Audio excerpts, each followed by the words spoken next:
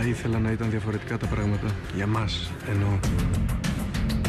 Ή θα σταματήσει να βγει αυτό το τύπο, θα τα πω όλα στον μπαμπά. Αυτοί οι άλλοι έχουν τη. Πρέπει να βρω έναν τρόπο να τον πείσω να μου πει την αλήθεια. Αυτή τη φορά ήρθα εγώ για το καλό σου. Που είναι πιο. Θα παραιτηθεί από την εταιρεία. Τελευταία ευκαιρία να σε βοηθήσω. Ήλιος. Ένα βήμα ακόμα και ξεχνάς την κόρη σου.